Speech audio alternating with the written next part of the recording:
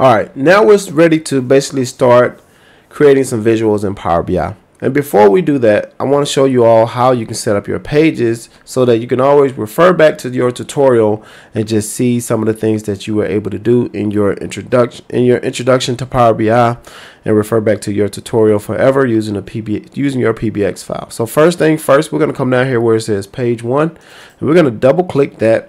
We're going to change this to say stacked bar chart. All right, so now that it says stack bar chart, we know that this page is our stack bar chart page. We're gonna next go to insert and we're gonna insert a shape. We're gonna take the shape up here, which is this rectangle, and we're just gonna pull it across up the, the top of this. And now that we've created this shape, we're gonna go right here where it says format, and we're gonna format this visual.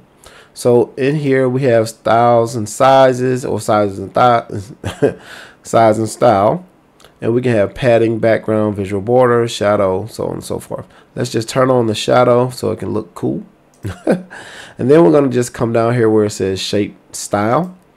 And we're going to go to fill. And let's just change this color to your own desired aesthetic.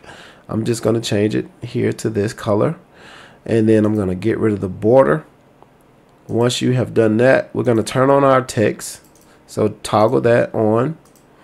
And here we can just call this again stacked bar chart.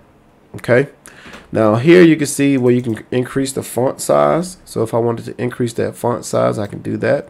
I can also make it bold and I can also change the font color.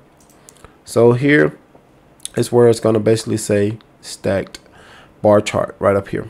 Okay, so I'll give you the ability to customize this to your own liking by just letting you choose your own desired aesthetics. All right, so anytime you want to go back into formatting any visual or any shape or anything that you add, all you have to do is just simply click on it and it'll give you the ability to do that. Now, if you want to turn your border on, you can also do that and you can change the color of your border if you want to do that as well as the width.